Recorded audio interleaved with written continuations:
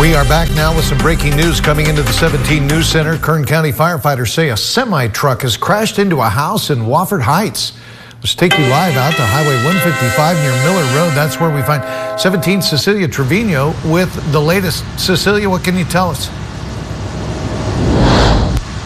Jim, good evening. We are just east of Wofford Heights, standing right now on Evans Road, which is Highway 155. I'm going to step out of the frame so you can see the scene behind us. It looks like a semi rolled into a structure. We have Kern County firefighters and the California Highway Patrol on the scene. They are still spraying the semi. The fire is under control. We're being told that it was a vacant structure. However, it appears that there is one person who need medical attention. I'm going to describe the scene for you because there is very limited information at the moment. CHP is taking evidence or tracking the way in which the truck was going. It appears that it was going into Wofford Heights. You can see the tire tracks right behind us as it was going and it just flew into this structure.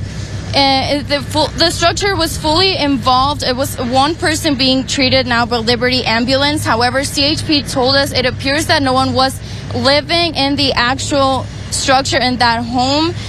We are, this story is developing as of right now. We don't have a lot of information, uh, a lot of information available, but we can see at least five five crews from our Kern County firefighters, and we'll have much more information coming up in our newscast at 11. Back to you.